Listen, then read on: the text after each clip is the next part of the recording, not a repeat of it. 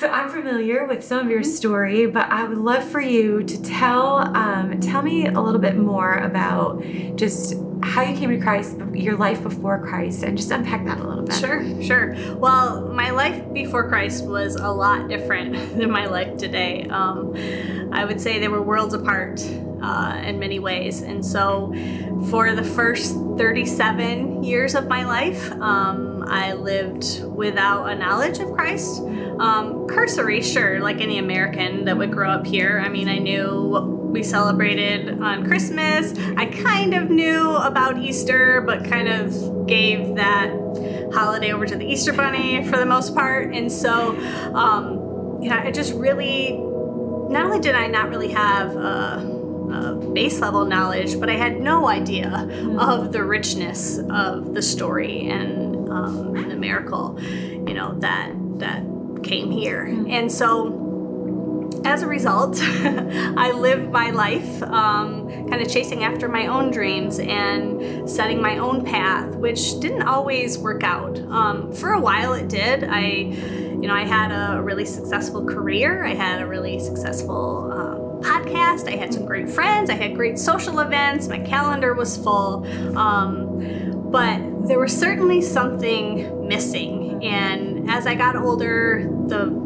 the deeper that emptiness felt, mm. um, cavernous, you know, very. And so I just tried to fill it with other things because I kind of grew up thinking that I was the boss of my own life, and if I was in a jam or if I had troubles, I could figure my way out and I'd fix it, and I just needed to find the next thing. And so I spent a lot of my time trying to find the next thing, whether that be another rung on the corporate ladder or a medal from a race I would run, and it just got to be a lot. Got to be a lot. And so at this time, I was a, a divorced single mom of three, and I was uh, working pretty hard, um, but it, it, had just gotten to be a little bit much. And so I, I recall this one September where I just felt like just had to get away. And so I booked a flight on Thursday, and on Friday I was in uh, Colorado Rocky Mountains and I hiked for three days by myself. You know, I told my best friend where I was and she had me on Life 360 just in case you fell off the side of the mountain. Because that was a definite possibility. And I just, like, I was just looking for something. I just didn't know what it was. I had no idea what it was. Um, I did hike up this one mountain, I looked out over this lake. It, it, had been like a seven mile hike, and there's this lake up there called Emerald Lake. And I remember like looking out and looking up and being like, I don't know if there is a God, but if there is one, like, I think I might need your help hmm. or something. Like, I don't, I don't, I just don't know. Like, how can I keep going the way that I'm going? It's just, it's, and so anyways, I, I came back home um, and I wrote a blog about it. I'm a writer, right? So I wrote a blog about it, about hiking in the mountains and trying to search for something and I'd mention in the blog like I, maybe I was looking for God. I don't know what I was looking for. And my friend Dave read the blog and um, he and I had been friends for a while at work. We worked together. And so he, I think he probably saw that as his opening to, uh, to ask me a couple questions. And um, that's really when you know, he said, I read your blog. I'd, I'd love to talk a little bit more about it. When you say that you were you're looking for something, what what is that? What do you think that is? And I, I don't know. um, just kind of opened this door to talk about kind of how I viewed life, how Dave viewed life, but most importantly, like he shared the gospel with me. And I'd mentioned this before, but I was 37 years old, and this was the first time someone had ever told me the gospel. So crazy. I just that blows my mind. Yeah. So I mean it, and the story was fascinating. I mean, I was on the edge of my seat. It was fascinating, but it was so overwhelming. Okay. And and very hard for me to believe, to be honest. Um, coming from a place where I'd never been to church, I thought, well, this seems. By the time the spring came around, this has been, what, six months since I learned about the gospel and was doing my head investigation, yeah. finding all the, uh, all the loopholes and all that kind of stuff. Um, he, I, I I was just at a low point in life. Again, outwardly didn't look like it. It Sure. like everything was great. Inwardly, I was just like I was just devastated and sad and empty and lonely, and I just didn't know what else to do. Like I had just kind of reached the end of the road. You know, like in my head, it's like the paved road, and I'd reached the end, and it's like, okay, now, like I tried everything I could do, done everything in my own power. Um, and so he, right at that moment, um, I got a text from my friend Dave, and it was a selfie. And for anybody that knows Dave Martin, I think that might be the only selfie he's ever taken in his whole life. Um, and it was the cutest selfie, and it was a picture of him smiling, holding a Gospel City mug, and it said, um, two things I never do take a selfie, drink coffee.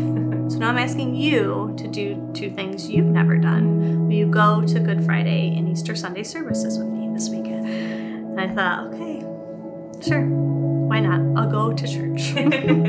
so it's my, it was really my first time like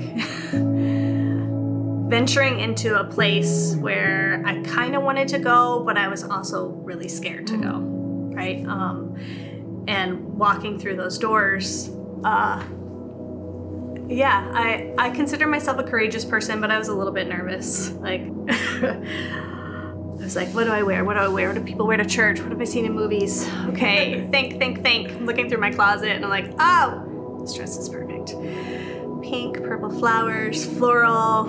It's tasteful, you know, no low neckline. Like this is gonna Thought be about the perfect all. dress for church. And I show up to Good Friday, and it's a funeral, literally, and everyone's wearing black. It's dark, and I remember looking at him and thinking, "You couldn't have told me." Like just a detail you little missed bit, like, "Hey, girl, maybe wear black today." But that's not the important part. The important part was the message that day. Like it was just so heavy. Hmm. I, I was just blown away. Like I was blown away by the depth of it and by the sadness of it and like I it it it, it stayed with me. I guess is the best way to put it. Hmm. so then I lived up to my promise and I came back on Sunday dressed in black because that's what people wear in church. In to tell black. I was ready to go, and I came into a celebration with confetti shot out of a cannon. So it was like, I don't know, if you could have like a,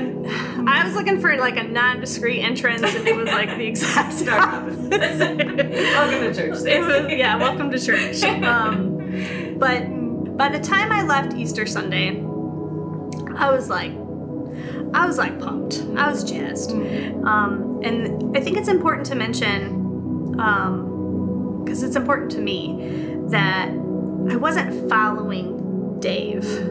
And he specifically said, like, I can't ever be your savior. Like, there's only one savior. And so here's this book. Here's this Bible. Um, your savior's in there. So get your nose in. He wrote in the he wrote in the opening of my Bible. Get your nose in this thing and and read this incredible story. And so I did. Like I just jumped in, and the words just flew off the page. Right. It was like I remember I would put my kids to bed every night, and I would start reading my Bible.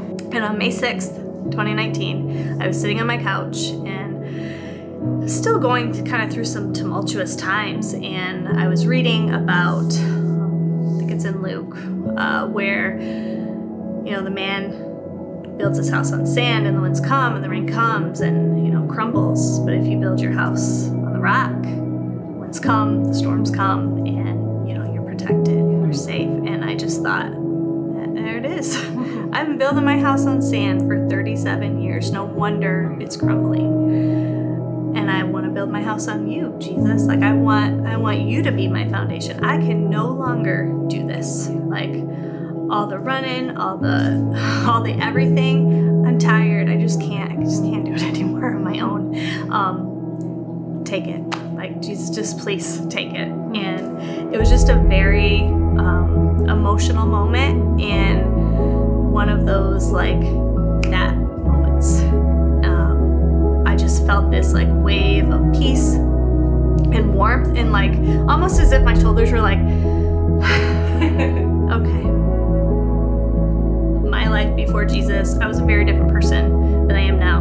Um, not in every way but in the most important ways. And so people would often ask because again i'm coming from a whole community of non-believers. So they were watching me and going like what is going on with this girl?